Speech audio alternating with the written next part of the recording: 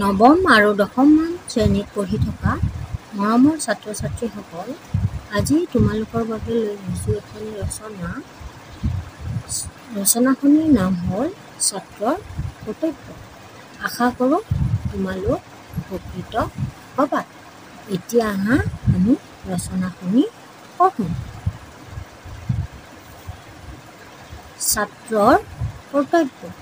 আৰম্ভণি বিদ্যালয় মহাবিদ্যালয় বা অন্যান্য শিক্ষানুষ্ঠানসমূহত অধ্যয়ন কৰাসকলক ছাত্ৰ বা ছাত্ৰীসকলকে ছাত্ৰ বুলি কোৱা হয়। বিদ্যা অৰ্জনকেই ছাত্ৰৰ প্ৰধান কৰ্তব্য বোলা হয় যদিও বিদ্যা অৰ্জনৰ উপৰিও ছাত্ৰসকলে আন বহুতো কৰ্তব্য কৰি যাব লাগে।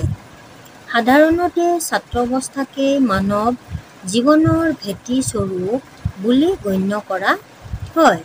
সেয়েহে এই সময়ছোৱাত ছাত্ৰসকলে প্ৰকৃত মানুহ হ'বলৈ যিবিলাক গুণৰ প্ৰয়োজন সেই গুণসমূহ আয়ত্ত কৰি ভৱিষ্যতে এজন সৎ দক্ষ আৰু সুনাগৰিক হৈ নিজৰ পৰিয়ালৰ নিজৰ পৰিয়ালৰ তথা দেশৰ উন্নতি সাধন কৰা উচিত ছাত্ৰৰ মুখ্য কৰ্তব্য।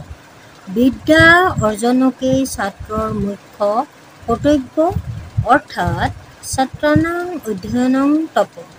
ছাত্ৰসকলৰ শিক্ষা অৰ্জন কৰাটো প্ৰাথমিক কৰ্তব্য।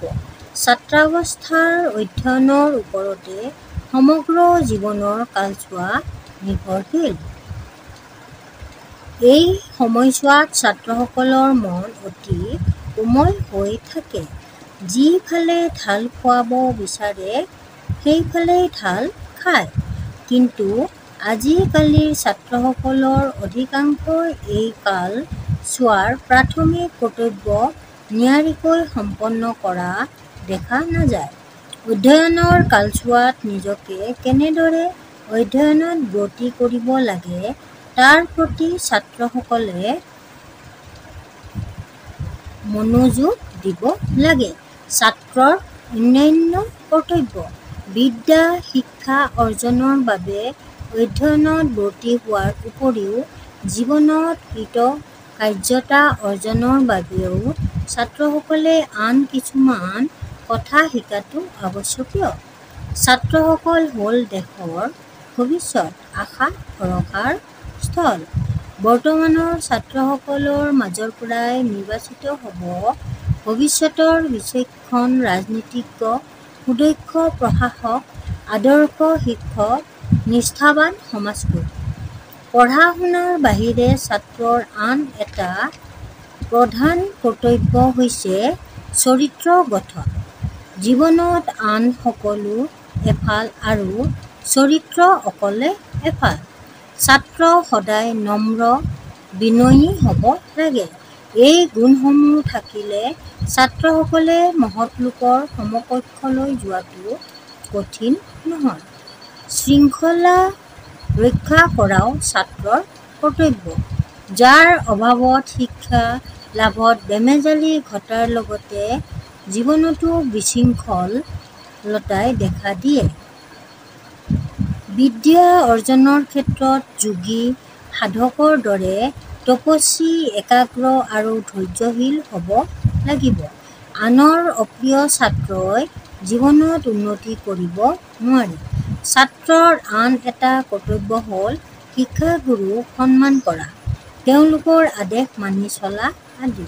ছাত্ৰসকলে পিতৃ মাতৃক শ্ৰদ্ধা কৰি তেওঁলোকৰ আদেশ মানি চলিলে যে ছাত্ৰ জীৱনতে কল্যাণ হয় হয় এনে নহয়।